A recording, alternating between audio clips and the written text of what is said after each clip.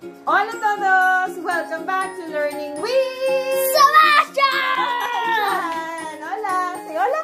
Hello. Hola, hello. ¿Cómo estás? Bien. Bien, how are you? I'm, I'm fine. I'm fine, ok. Hoy día nos vamos a aprender un poco palabras de español con palabras con doble R. Mi mamá va a aprender el doble, doble R en español y yo de inglés. Listo, ok, nos vamos a aprender doble R en español porque yo me cuesta hablar las palabras en doble, con doble R, como la palabra caro,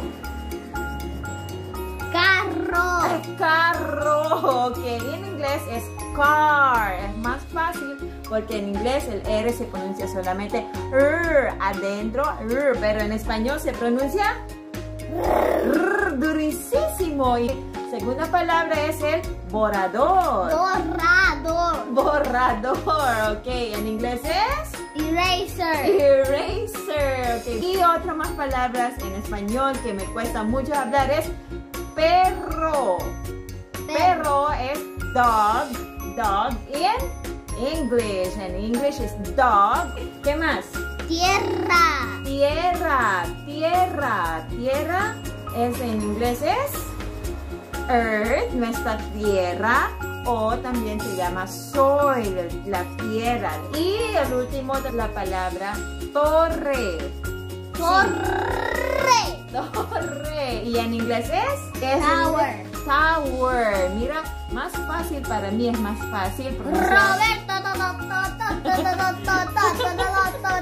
Más fácil hablar las palabras tower que torre. Entonces el R.